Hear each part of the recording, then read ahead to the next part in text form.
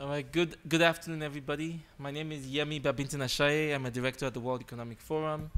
Thank you so much for joining us today for what promises to be an exciting, an exciting uh, announcement for the continent of Africa.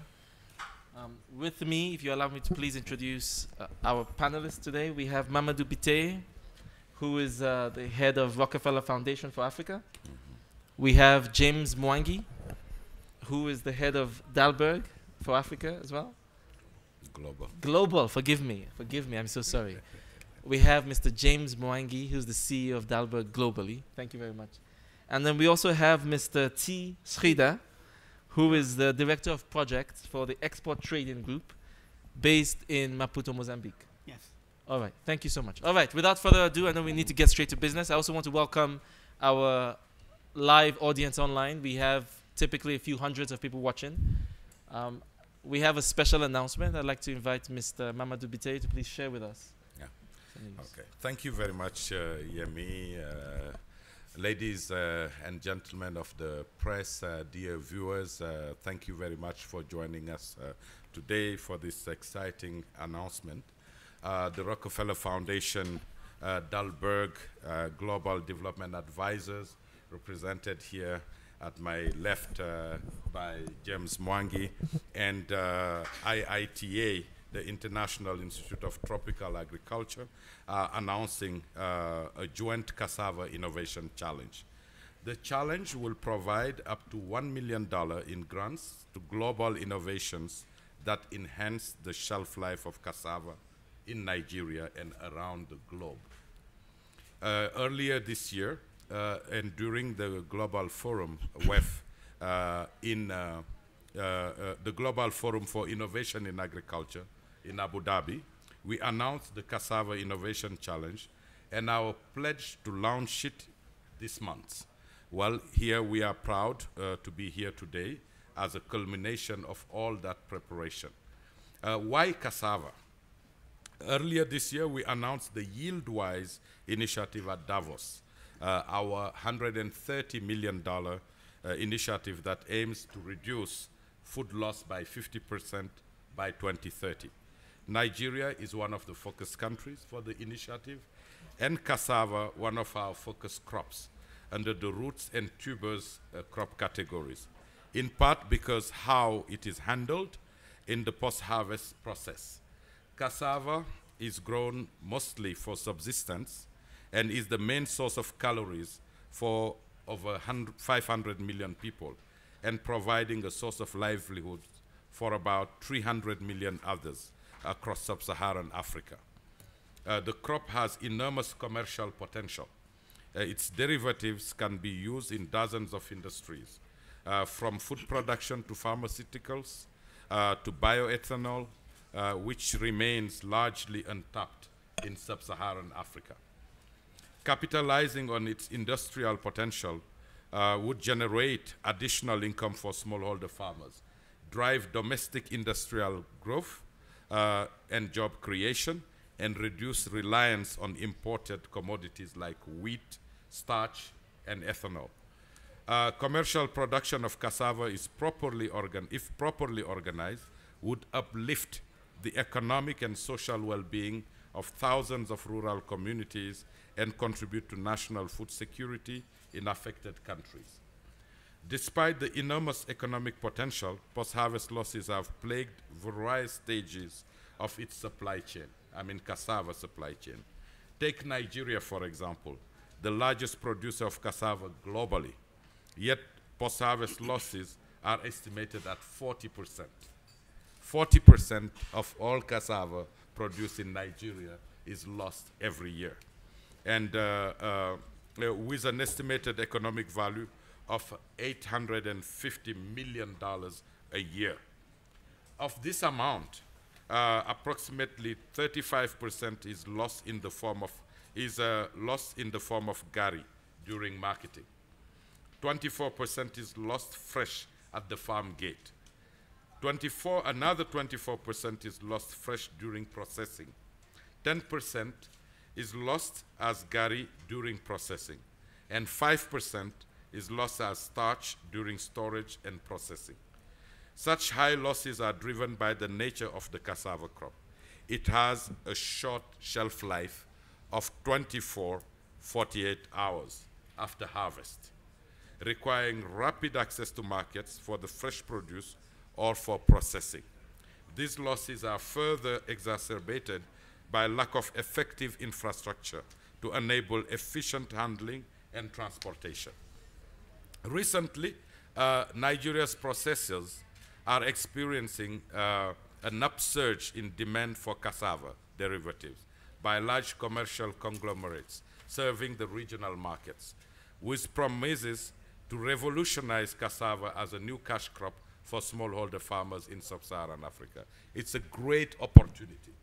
Uh, however, they are, uh, the, the farmers are unable to meet the latent demand as the short uh, shelf life, poor infrastructure, and even lack of awareness on impeding issues increases the cost and complexity of securing a consistent supply uh, from smallholder farmers.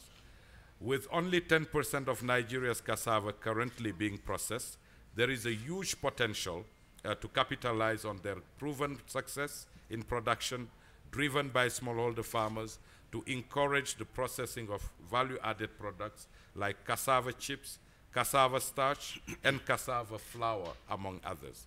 In keeping with the Foundation's rich history in innovation, we are excited to invest in a challenge that will provide financial and technical support, both financial and technical support, to novel solutions uh, from, from across the world to tackle one, of, one or more of the following barriers. Three areas we are focusing on. First is access to existing cassava varieties. Through cassava varieties with extended shelf life exist, farmers have little access and knowledge about them. So there is an issue of awareness of what is already out there. Uh, and this is uh, due to lack of reliable commercial stem uh, supply system in Nigeria. So it's not really reaching them. Number two, we are also focusing on effective preservation between harvest and processing. Uh, inefficient harvesting, as well as poor handling, storage, and transport, usually damages roots or leaves them exposed and reduces starch content and shelf life. And third, it's uh, the one challenge is the distant and inefficient processing. The available cassava processors are located far from the farms and use inefficient manual peeling methods. So how can we also bring processing closer uh, to, the, to the farm and the produce? So the challenge winners will also receive technical assistance in business development and product design to catalyze and scale innovations at the intersection of agriculture and technology. Through the challenge, we aim to galvanize solutions that could revolutionize, revolutionize the cassava industry in Nigeria and globally, improve food security in the country and the region, and yield economic benefits to smallholder farmers. So my friend here, James Mwangi from Dalberg, who have been partnering with us uh, in developing this challenge, will give you more detail about how this challenge works. Thank you very Thank much. You. That, that is fantastic. I hope you, you, you, you got the story. Um, I'd like to understand, is each grant a million dollars? No, uh, it's a total prize of one million. Okay. Uh, really to support the winning solution. But uh, okay, uh, James but yeah, we'll will give you more you. detail. Yeah, um, maybe James, if you can just please share with us, um, why are you why are you on board? Thank you very much, uh, uh, Mamadou, and thank you, Yemi. And once again, my name is James Mwangi. I'm executive director of the Dalberg Group, and on behalf of Dalberg, it is a real pleasure and a privilege to be partnering with Rockefeller on this initiative. Uh, Dalberg, over the last few years, has worked extensively on questions in the agricultural space, looking at uh, a range of actors and helping improve agricultural performance across Africa, and increasingly with a particular focus on Nigeria because of its large population size, uh, its increasing focus on agriculture, and the huge potential for agricultural pro uh, processing in the country working with the Rockefeller Foundation on the YieldWise initiative, uh, it provides an opportunity to take a new approach to creating partnerships and starting to address some of the issues we've heard from Mamadou about how much of our Africa's agricultural produce is actually lost between the farm and the consumer. Um, specifically, uh, we are now working on this Cassava Innovation Challenge. Uh, again, targeting the question of, of food loss, where Rockefeller has been a real leader in trying to come up with innovative solutions to actually not only just increase yields across Africa, but address the fact that so much of Africa's agricultural yield is lost before it's ever consumed. Uh, and so, with an eye to cassava specifically, we are launching this challenge officially today. And uh, those wishing to enter the challenge will be able to find information on it on the Rockefeller website, uh, www.rockefellerfoundation.org.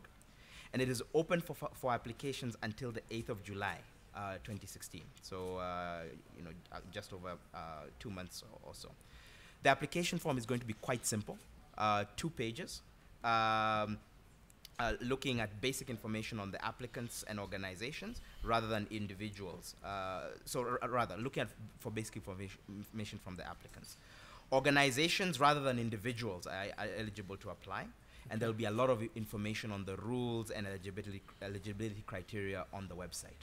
I do want to say the intriguing thing here is less about, I mean, it's a substantial prize, but we're trying to be innovative by saying let's actually not just pick one or two solutions that we're aware of. If we look about at the questions around the varieties of cassava, the questions of preservation, the questions of distance and inefficient processing, how do we actually attract innovators and entrepreneurs from around the world, innovative organizations from around the world, to bring their best ideas to the fore and let the best ideas, the highest performing ideas, win? In that, we will be working very closely with uh, our, our partners at IITA, uh, and with ourselves at Dalberg, and we have deep experience both in the agricultural sector in general and in the unique challenges of cassava in particular. And also applying that specifically to Nigeria. Again, Nigeria is a critical market, cassava is the crop, but the idea is really tracking innovations that may be applied elsewhere on completely unrelated areas, but could meaningfully, meaningfully have impact on the cassava question. Mm -hmm. Um, after the initial applications, we'll inform su the successful applicants by the end of July, 31st of July, and they will be invited to submit a full application. Um, the, you know, um, at that point, we will then run a process until August. Uh, by the 26th of August, we'll expect to get full applications from our finalists, and we hope to announce the, the, the challenge winners in October of 2016. Our fervent hope is that we will get a real diversity of applications in the coming months across different kinds of business models, organization types, solution approaches, uh, and so on, to really raise the returns that we're getting off of this crucial crop across Africa. That's fantastic. Thank you so much, James. Okay, I already have questions. I'm sure you do too. But before we dig in, I'd love to invite uh, um, as an export trading um, organization, you're clearly one of the stakeholders of what this uh, challenge is working on. It would be great to hear your perspectives. Thank you, Yemi, for giving me an opportunity to present this case here. Good afternoon, gentlemen. I am Sridhar. I am, ladies and gentlemen, sorry I missed you. Sorry. Yeah, we have a few ladies here. Yes. You can see on the camera. Hi, ladies. But you can, we do have both ladies and gentlemen. Yes, but that's fine. More ladies than gentlemen. okay. I missed it. it's fine. I'm Sridhar, a director of projects from ETG, a conglomerate involved in agriculture procurement, processing, transportation, import, export, and distribution, a complete value chain of agricultural commodities. We handle approximately 5 million tons of commodities last year. Incidentally, cassava is the second most consumed and cultivated crop in Africa, and that did find uh, that much uh, important place in that 5 million tons what we moved. Because of problems, what they are, they have come up to address today. That's one of the biggest challenges we have in this product, particular product. It has a peculiarity by itself. The crop can remain under the ground for four years, no issues. But once you harvest it, it stays live for only 48 hours. So it is not like any other commodities where we use the hub and spoke operations where in which you procure goods, store it in a place, accumulate it, move it. We can't do this here. Both myself as an operator and the farmer as the end user look at each other with desperation. We can't do anything about this crop. But this is the major crop in Africa. Cassava has such a kind of importance in Africa, not only, I'll tell you, if you look at the case, cassava defines the poverty of a country. This is what I will sell. In Africa, the cassava productivity is approximately 10 tons, barring Nigeria, where they're far ahead. Other countries, they are approximately 10 tons. The countries are in poverty. In Latin America, the productivity of cassava is approximately 15 tons per hectare. They are food self-sufficient. In Far East Asia and India, if you look at it, the yield per hectare of cassava is between 25 to 45 tons. Unbelievable. And they are industrial. It has transformed them. A simple equation cassava in the hands, if he gets 10 ton a hectare, his annual income is $500. If the farmer is able to get 25 tons, it becomes $3,500. That's the difference. The farmer is not able to produce, is not willing to produce because there's no buyer. I'm not buying because I can't process it, I can't move it. The logistics is a bigger problem. The solution, where to find? Cassava, we as industrial people, we have normally know where the demand comes from, what the industrial future is, where to put our money. We look at cassava as a very, very strategic product in our list of products what we handle. However, we are perplexed how to handle it. The latest study by McKinsey, The Lions on the Move, talked about an immense migration, urban migration of Afri- African population, leading to middle income growth. That means middle income population growth in Africa, which is non existent at present stages. What it implies, a middle income group comes into a continent means they don't want to go to the basic food materials, they need a semi processed or a processed food. And Africans have been eating cassava for long and they love the product. How to process it and make it semi processed, make it available to them. There is going to be a very great demand. Forget about export of cassava starch to Europe, cassava chips for animal feed to Africa, China, forget it. The cassava is going to be the basic food need, and that has to be circulated within Africa. We need to process it. But we have an impediment of not able to process it, not able to procure it and move it. The logistics is an impediment. Here only, I stand up and salute Rockefeller Foundation for throwing open this challenge fund. It is going to induce people. Put up some idea, think about it, bring out something. I will cite one example of it which we take for granted. When innovation comes, we don't recognize how it comes, where it came, what is the use of it. We all love to eat cone ice cream. Before 1904, cone ice cream was used to be served in cups, glass cups, plastic cups, or some way. In 1904, at St. Louis, Louis Food Fair, World Fair, one gentleman called Ernest Hamwi was selling ice cream. He ran out of the cups. He didn't know what to do. Next to him, another guy was selling, what do you call, waffles. He ran to him, picked up waffles, made a cone, packed ice cream and gave it. People ate ice cream along with the waffles. We don't know how much that one single act has changed the society. Forget about all other things. Garbage, the kind of garbage it would have generated, it has solved that one single idea. That is what we are looking at as the response from the people, individuals, institutions, organizations, scientists, whomsoever it may be. The challenge is open. It's like a lottery ticket, gentlemen. You provide an idea, you get a million dollars, courtesy Rockefeller Foundation. Thank you, sir. That is brilliant. Thank you so and much. And I request, at the end of this, I make one small request to my press fraternity. Kindly spread this message.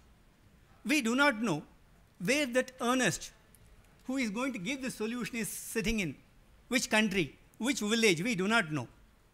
Like Rockefeller Foundation, we as a guys, a commodity guy who is interested in cassava, earnestly looking for that Ernest here to come out with a solution and address us. Thank you, gentlemen. Thank you, ladies. Thank you so much, Sridhar. Thank you. He corrected himself there. That's brilliant. Um, okay, do we have questions? If you have a question, I can see hands. Very good. We'll come to you shortly. I have a couple of questions first, and James, for you, just a clarification. Applicants can come from Any country? Anywhere in the world, yes. Okay. Wow. All right. Fantastic. Thank you. Second question to clarify, Mamadou. You talked about the the estimated value of uh, of crops that are lost in Nigeria, cassava, at about 850 million. Now, that's Nigeria alone. Yeah. So other producers, surely the number will add up. to several billions. Uh, you know, you um, uh, what you need to know is that here, uh, uh, cassava is uh, the largest produced crop in Africa.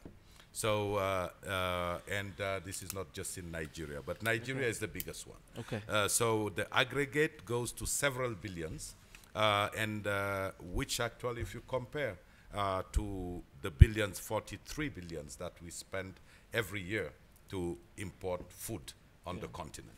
So we are focusing where the losses are highest in Nigeria, Yeah. but this solution eventually will trickle down to all cassava producing countries Fantastic. uh, uh, on the continent and beyond. That is brilliant. I, I've got my marching orders. That sounds compelling enough for me. Um, the deadline is the 8th of July, 2016. So we have just under eight weeks to solve a multi billion dollar problem.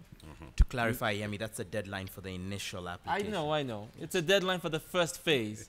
We'll get the winners in October. But if you don't get in the first phase, well, the train has left the station. So you have less than eight weeks. Now, we need to help people who want to apply. So I'm sure you have questions that can help them understand this and questions that can help you write stories. Can we get a microphone, please, to the gentleman in the front? Thank you. Um, my name is Ni Adeobibe. I'm from the Nerve Africa. Your microphone is closer to your mouth, please. Okay, um, I'm Ni from the Nerve Africa.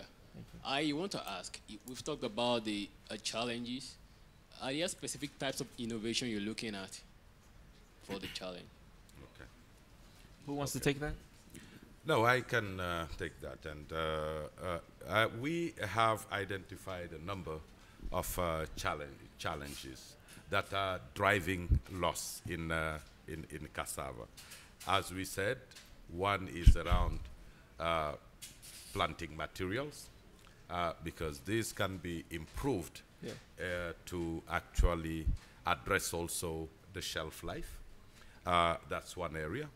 And uh, as we said earlier, some some uh, the research has already done some uh, progress on that, and some of these types of uh, planting materials are available, but not getting into the hands of the farmers. So that is also one other challenge. Uh, and uh, uh, the other one is around preservation. Uh, are there technologies actually that can help uh, increase the shelf life during uh, uh, storage? Uh, what those solutions are? Are they chemical? Are they mechanical? Which ones are they? The other area is addressing the transportation or processing. How do you get processing closer to the to the product? Because uh, the other thing that we need to know is that cassava is highly uh, comprised of water. Uh, over 70% is water. So basically, transporting cassava is also an inefficient because you are virtually transporting, uh, paying to transport water. So uh, one of the things is when you bring uh, processing closer uh, to the farm, then also that is one of the aspects of addressing not just uh, the shelf life issue, but also efficiency uh, around handling uh, the product in the value chain. So it's solutions that would help address the issue around those three, three, three, three main areas that are mostly driving the loss. Thank you. Okay, can we just? I think we should take a few questions because I saw some hands earlier. So if you have a question, I'd like to see your hand. Get get a microphone there, please. Thank you. Good evening. Uh, my name is Harriet Agbenya. I work for Channels Television Lagos, Nigeria. Uh, my question is uh, general one, still an offshoot from what you asked. The challenge you say is open to everybody, but what will be used? Will everybody be given a fair chance to show what uh, form of innovation it is that they have that want to present for us to preserve cassava? All right, thank you. That's a great question. I want to see if, if there's another question to take at this time. If you have a question, thank you. Can we get the mic there, please? Hi, I'm, I'm Kanika Saigal from African Business Magazine. Um, I just had a simple question, just wanting to ask why is the challenge open to institutions as opposed to individuals? Great question. I'm happy to take one more because we're short on time. So if you do have a burning question that will help get the story out, please put your hand up. Okay, let's go with those two questions. The first question Will people have a fair chance to show what kind of solutions and, and models they, they're proposing? Um, I think that's a great question. I think the commitment that uh, we have as Dalberg with our partners at IITA is we will be focusing on the underlying facts. So we'll be looking at the actual concept of the idea and the actual measurable impact it can have. Uh, so really, the question of who you are is not the, the, the, the question. It's really about what is the measurable impact that you can potentially have. Um, and that's where the technical expertise, both around understanding the market, but also understanding the crop and the, and the details around the nature of the crop, will be applied to assessing each idea. Great, thank you very much. Um, to the second question, I don't know who wants that. Why is this open to institutions and not individuals? Okay, uh, this is uh, uh, mostly related to how we can uh, actually, uh, when we have the solution, work it. Because one of the ways is also that the solution needs to be, we would like it to be institutionalized if you wish. and uh, we know that uh, the innovation might come from individuals as well. Uh, but how these individuals who have great ideas can also work with institutions that can provide the platform, okay. you know, uh, for really driving the solutions, uh, the solution uh, further. So individuals can also work with institutions to participate in this. Thank it's you. not exclusive. Yeah. Thank you very much. We have another question.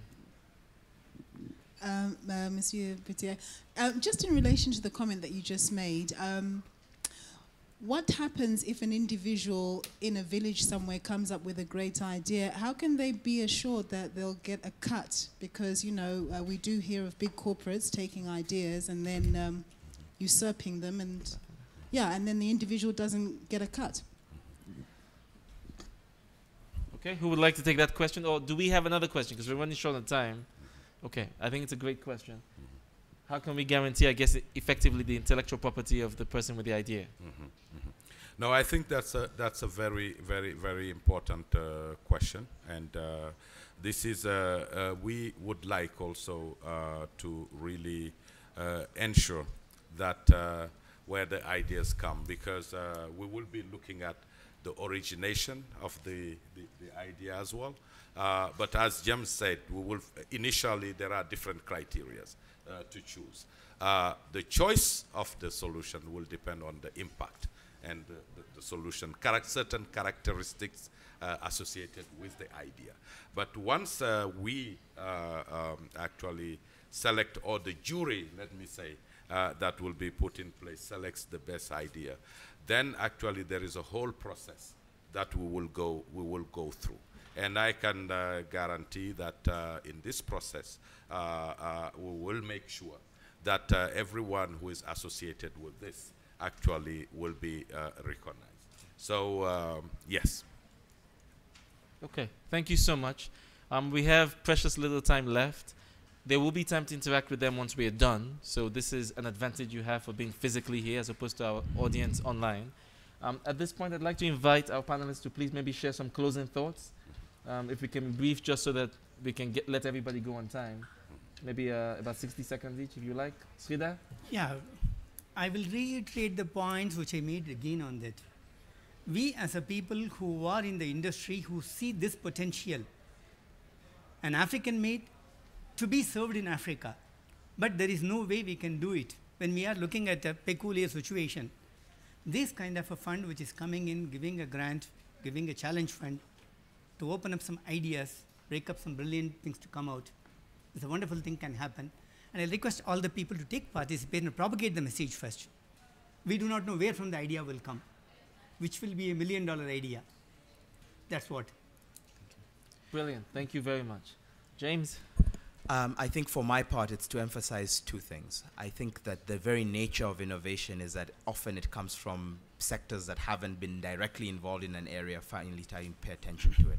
And we hope that people in other geographies or other sectors, once they understand some of the challenges around cassava, will find that some of the tools and capabilities that they've been building, in the way that the waffle cone, for example, came about, will see that there are applications to what they've been doing in the cassava space. So the wider the group and the net that we cast, the better that does demand then that our due diligence and our evaluation of, of ideas be both broad-minded, fair, and factual. And I think there's been a number of questions raised about, about that, and we're being very careful to construct a process that's really about digging into and understanding the idea and really assessing its value and testing its viability.